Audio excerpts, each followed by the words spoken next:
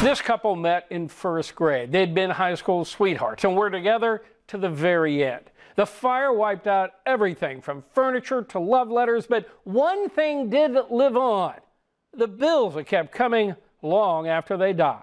I got a phone call from my brother Chuck. Susie uh, Rippey Harris will never forget that night. He just told me there was a big fire in Napa and the parents' house burned down and, and they died in the fire. Her mom and dad, Sara and Charles Rippey, 98 and 100 years old, died together in the Atlas Peak fire. I was on the phone and I, I couldn't believe my ears. I said, you know, Chuck, are you kidding me? Susie and her brother went to the burned out home in the Silverado neighborhood. It was just all gray ashes. It is hard. The way they went was very difficult. As they continued to grieve the loss of their parents, the family was troubled by one nagging loose end the uh, crazy scenario with trying to close out the AT&T account. Weeks after they died, Susie's parents got a bill for AT&T internet and TV.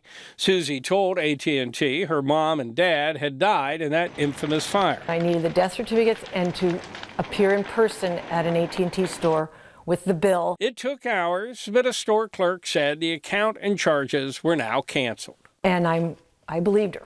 And then uh, the next month, I got another bill. This time, AT&T charged her parents $194 for service in November, long after the couple had died. The bill also demanded the October payment, plus a late fee. Susie spent another two hours at the AT&T store. And at the end, she said, yes, it's all closed out, no problem, no problem, no problem. So then in December, we got another bill. Again, AT&T canceled the charges, but when January came around, so did yet another bill. I really I couldn't even think about it. I, I, I couldn't believe I had this another bill in my hands. People had already told me this you should call Michael Finney. She contacted 7 on your side and we contacted AT&T. 35 minutes later, I got a phone call on my cell phone. The company zeroed out the account immediately, telling us, "Unfortunately, we made mistakes handling the account and we couldn't be more sorry. While we made the correction some time ago and have apologized to the family,